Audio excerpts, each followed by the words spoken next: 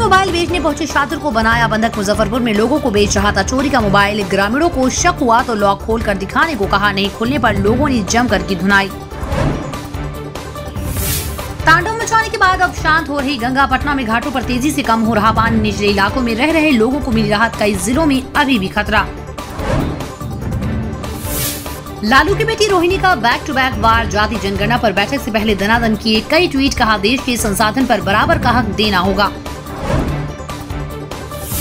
वितिया में police team पर हमला घर में तोड़फोड़ कर पेट्रोल छिड़क कर आग लगाने जा रहा था। युवक मौके पर पहुँची पुलिस ने रोका तो उन पर भी कर दिया हमला।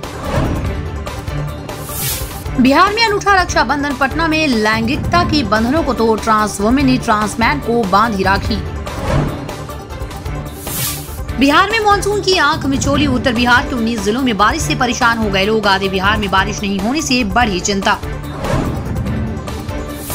शहनवाज ने बुनकरों में बांटे एक करोड़ रक्षाबंधन के दिन उद्योग मंत्री शहनवाज हुसैन ने बुनकरों को दिया सौगात। बुनकरों में बांटे करोड़ों रुपए, कहा बुनकर अब एसी में करेंगे काम। मुजफ्फरपुर में रेलवे ट्रैक पर मिला सिर कटा शव। नेपाल का रहने वाला था युवक। कई साल से शहर में रहकर कचरा गोदाम में करता था काम। पुलिस और जीआरपी जाँच में जुटी।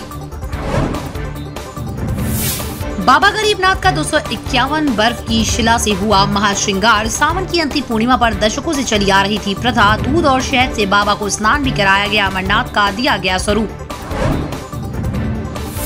बिहार में एनडीए की किताबी राजनीति, जेडीयू ने नीतीश के काम के प्रचार के लिए तैयार करवाया था बुकलेट। अब बीजेपी पंचायतों में पीएम मोदी सरकार द्वारा किए गए काम का बुकलेट से करेगी प्रचार। वैशाली में डूबने से युवक की मौत, बाया नदी में डूबने से गई जान 24 घंटे के बाद मिला शव, पोस्टमार्टम के लिए भेजा गया। विश्व के वैज्ञानिकों के साथ शोध करेंगे सीयूएसबी के शोधार्थी सी व जापान के एटॉमिक एनर्जी नेशनल लेबोरेटरी के बीच हुआ करार। पदार्थ विज्ञान के छिपे रहस्यों को भी जानने के लिए जाएँगे जापान। रंग बदलती बीजेपी सुशील मोदी बोले, बीजेपी कभी जातीय जनगणना के विरोध में नहीं रही। कांग्रेस ने दी नसीहत का प्रदेश अध्यक्ष स्टैंड क्लियर करें। पीएम मोदी से मुलाकात के बाद एक सुर में बोले, सीएम नीतीश और तेजस्वी कहा, बड़े गौर से सुनी गई है बात, अब निर्णय का इंतज़ार। तेजस्वी यादव को घेरने में जुटे तेज प्रताप, संजय यादव पर हुए हैं और हमलावर लगाया हत्या की साजिश का आरोप। जीवन। अब लखन देई व मनुष्य मारा मिलकर मचाने लगी तबाही। इराई के साथ गाँव में फैल रहा बाढ़ का पानी, सड़कें टूटी। दो दिनों तक मौसम शुष्क रहने के बाद पटना में बढ़ गई थी उमस भरी गर्मी। बारिश से लोगों को मिली राहत। मुजफ्फरपुर में खतरे के निशान से ऊपर बहती नदियों को पार कर स्कूल जा रहे बच्चे, खुद से नाव को खे रही है बच्ची।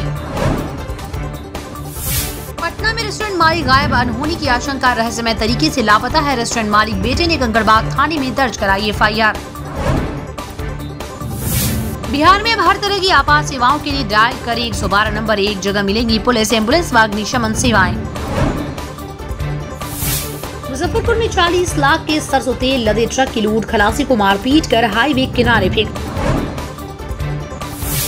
मधुबनी में बाढ़ से बेनीपट्टी अनुमंडल क्षेत्र में टूटी 125 सड़कें 16 करोड़ का नुकसान। बिहार में शराबबंदी के बाद गांजा के सेवन में हो गई वृद्धि, गया में झारखंड से खेप ला रहा चालक गिरफ़्तार। मजदूरी मांगी तो मिली मौत, नालंदा में मजदूरी मांगने गए जीजा साला के साथ गाली गलौज, की विरोध किया तो लाठी डंडे से पीट पीट कर मार डाला।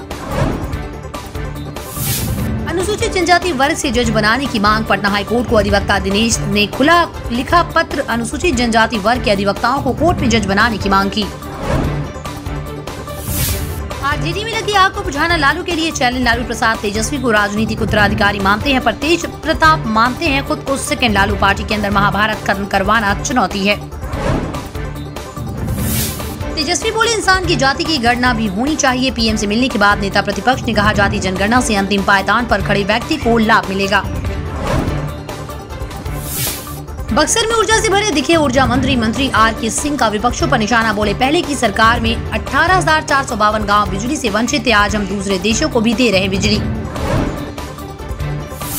मुजफ्फरपुर में कई के आशियाने पर चला बुलडोजर, भारी आक्रोश के बीच हटाया जा रहा अतिक्रमण। हाईकोर्ट के आदेश पर कार्रवाई 50 साल से अधिक से रह रहे थे लोग। वैशाली में केंद्रीय मंत्री पशुपति कुमार पारस के काफिले पर लोगों ने फेंकी स्याही। बाढ़ पीड़ित लोगों ने यात्रा का किया विरोध। आपदा की इस घड़ी में इनके हाजीपुर नहीं आने से लोग नाराज़। लेटेस्ट खबरों के लिए देखते रहिए एम न्यूज़ जेड न्यूज़ और ताज़ा अपडेट पाने के लिए चैनल सब्सक्राइब करना ना भूलें।